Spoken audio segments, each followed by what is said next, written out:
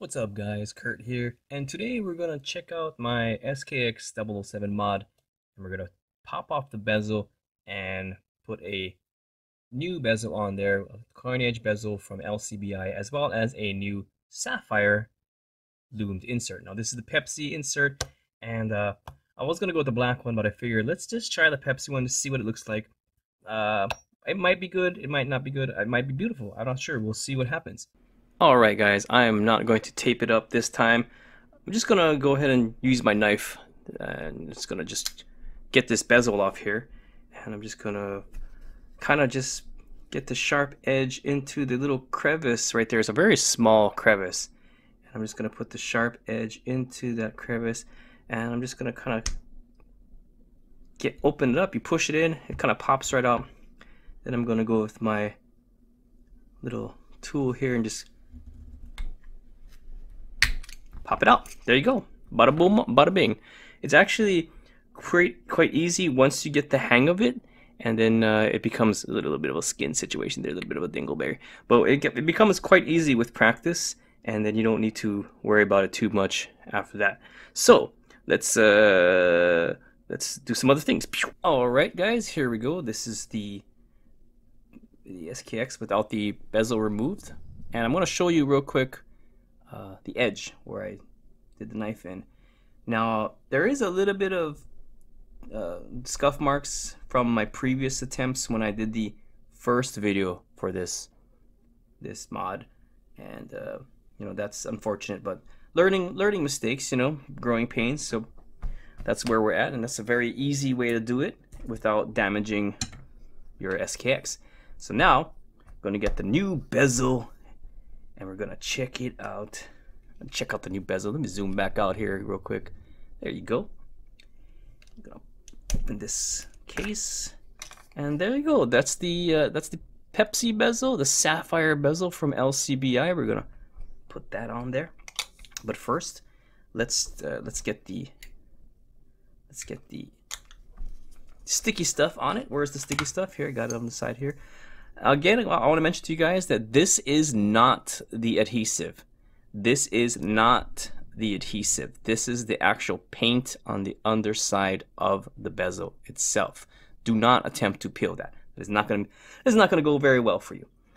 So, what I'm going to do is I'm going to peel off half of the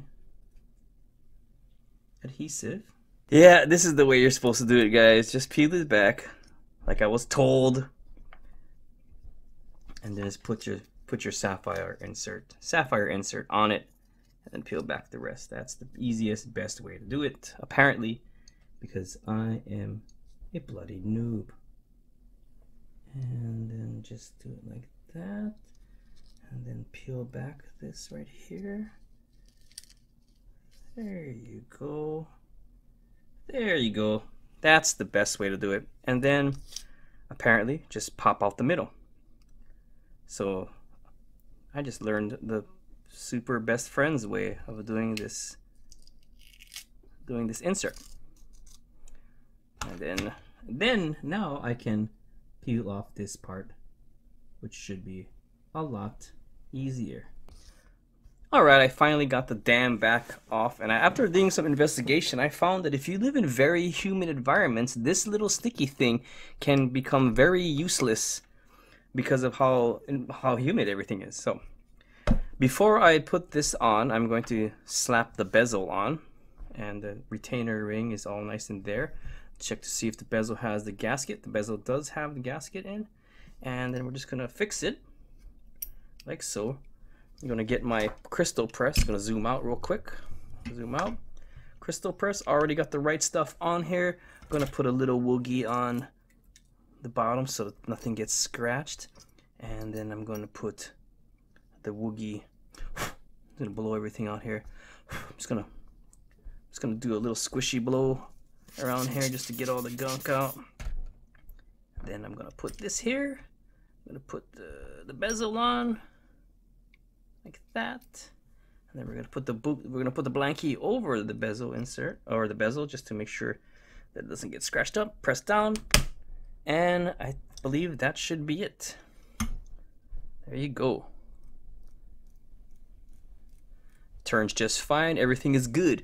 Now we're gonna put the bezel insert on, and we're gonna find we're gonna find a nice little center spot on the watch. Make sure there's no play back and forth, and then we're gonna affix uh, the bezel insert nice and carefully, making sure everything is aligned. There's actually a bunch of crud on here. I'm gonna wipe it off with a rag or a paper towel actually. Wipe it off with a paper towel. Make sure there's no hand oils or crud or anything. There you go. Then give it a little give it a little squishy blow. You can use canned air. Canned air has become my good friend in doing these kinds of things. So now, just get it in there real quick. And is it centered? I can't tell if it's centered. That should be centered. Press down and gently let go everything else. Booyah! There you go. And there you have it, guys. That is the Pepsi SKX sapphire insert and coin edge bezel. So I'm going to put it on a strap and I'll be right back. Here it is, guys, the final product. I put it on the Barton Alligator watch band because it matches very perfectly or almost perfectly with that blue on the Pepsi the Pepsi side of the bezel.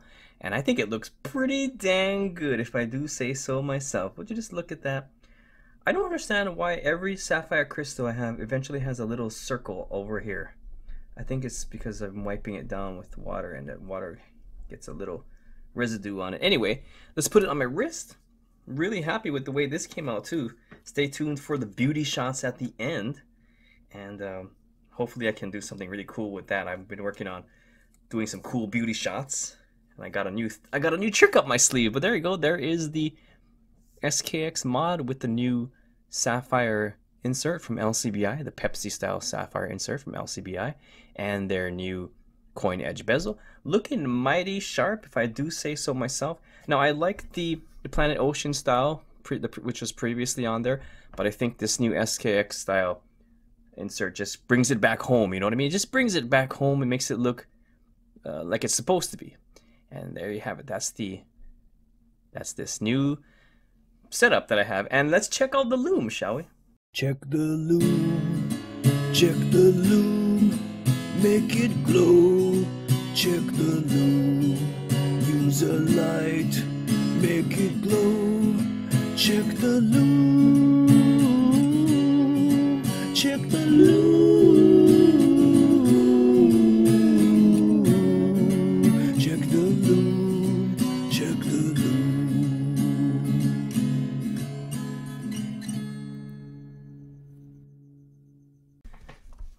Okay guys, I have it already set at the high ISO that I like and I'm just going to give it a blast of light air, air light, and we're going to check it out in a bit. And then boom, there you go. Woohoo! Would you just look at that? That is beautiful. Oh, there is uh there is some light bleeding over by the by the uh, what you call it Come on, focus. Focus. There, you see over here, it's kind of bleeding some light under under the bezel. I guess uh, some of the some of the glue material got uh, on the sides over there, or uh, I don't know. I don't know why it's bleeding light right there. It's kind of interesting. It's like it's like it's not quite perfect. Hmm, that's weird. I'm gonna have to try and pop this sucker off and address that situation somehow. But other than that, the lume looks really good and keeping up with the rest of the Seiko lume. If, if actually, actually, some of the, I think the the sapphire bezel, the sap, the the lume on the insert is actually brighter than the SKX lume, which is pretty crazy. Which is pretty crazy. So anyway, let's see what the boys have to say about it. Hey guys, what's up? What I do? What's up?